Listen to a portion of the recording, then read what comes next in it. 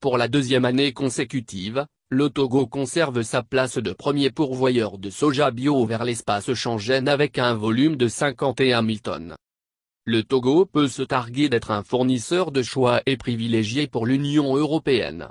D'après le rapport 2020 de la Commission de l'Union européenne, UE, sur l'importation des produits bio, le pays garde sa place de premier exportateur de soja bio dans la zone pour la deuxième fois consécutive. Le Togo a exporté en 2020, 51 000 tonnes de soja bio contre 42 300 tonnes en 2019. Ces chiffres indiquent une croissance de 20% et placent le Togo devant l'Ukraine avec 28 000 T, l'Inde 15 000 T et le Kazakhstan 11 000 T. Le document montre en outre que le Togo n'est pas largué en ce qui concerne les produits agroalimentaires bio. Sur la même période, l'exportation des produits agroalimentaires bio du Togo vers l'UE est passée de 44 684 T à 54 017 T. Le pays occupe ainsi le 13e rang mondial, et la deuxième place en Afrique, même classement qu'il y a une année, derrière la Tunisie et devant l'Égypte.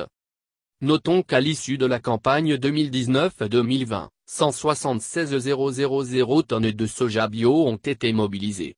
160 000 T de graines de soja et de soja bio ont été exportés pour la valeur de 50 milliards de FECFA.